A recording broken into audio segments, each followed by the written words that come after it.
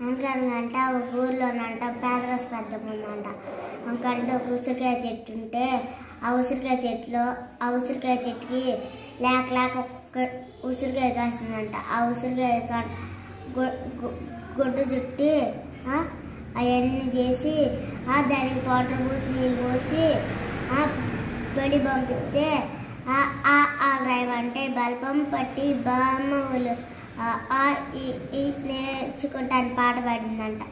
Madam అంట head master కాడ తీసుకెళ్ళి ఈ- అమ్మాయి ఈ అమ్మాయి ఆ, ఆ ఆ రాయమంట రాయట్లేదు అని చెప్పి చీకటి గదిలో వేసాడంట. ఎత్తినా ఏమైంది అప్పుడు? చీకటి గదిలో వేసినప్పుడు? ఏం చేసింది ఉసిరికాయ మళ్ళీ తోట వెనకాల.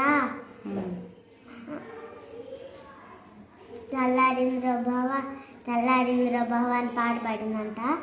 ఇంకప్పుడు అయిపోయింది.